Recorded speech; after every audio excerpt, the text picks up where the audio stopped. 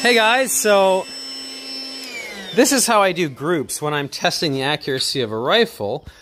Because if you just shoot three shots and then, you know, you take a two minute break, it just doesn't get the barrel cool enough to give you a repeatable accuracy. So this is what I do. This is actually a mattress inflator that I just put a simple PVC tube, put a plastic baggie around the barrel, wrapped it with uh, tape, just to seal it off. And I make it so it's pulling, so it's sucking. So that way the air is actually coming in from the, uh, from the breech and cooling the chamber before the rest of the barrel, which is typically what you want to cool the most. So anyway, yeah. Welcome to Epik Arms.